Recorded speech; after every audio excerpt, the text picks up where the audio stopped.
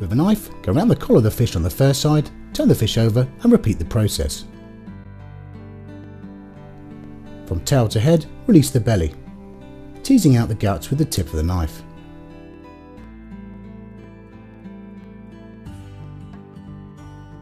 Using the backbone as a guide, go from head to tail, releasing the fillet. Free off the ribs. Split the rest of the tail.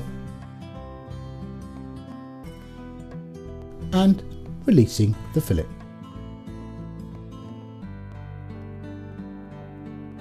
Turn the fish over from middle to head and from middle to tail.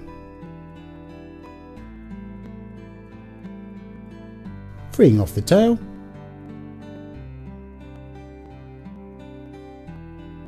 And then releasing the rest of the fillet.